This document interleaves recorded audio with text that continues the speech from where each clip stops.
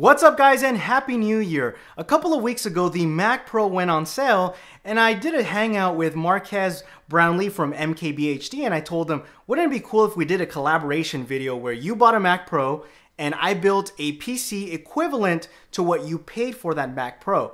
And he pretty much said that is a great idea. So that night when the Mac Pro went on sale, he sent me a message through Hangout saying, uh, here is the damage and that damage was 7900 of course with tax included.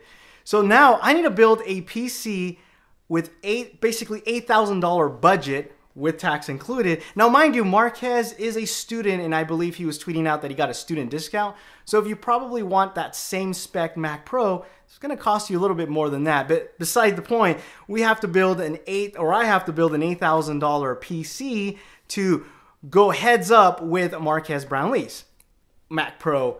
I think it's an 8 core processor.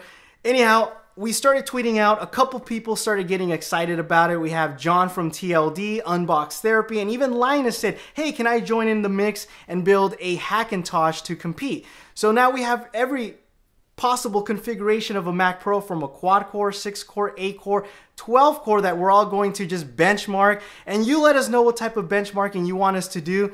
And also let me know what type of build I should do. Should I do a 2011 build, LGA 2011, or should I do a Haswell build? What kind of parts should I use? Remember, I have $8,000 to spend on this build, which I'm actually pretty excited about.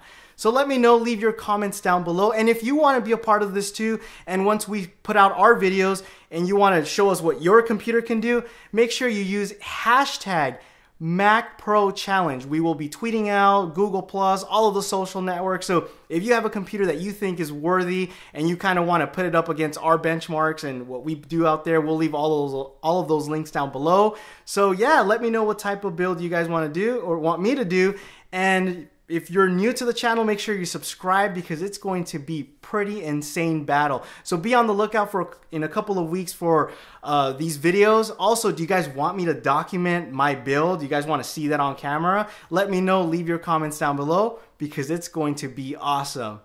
Until next time, adios.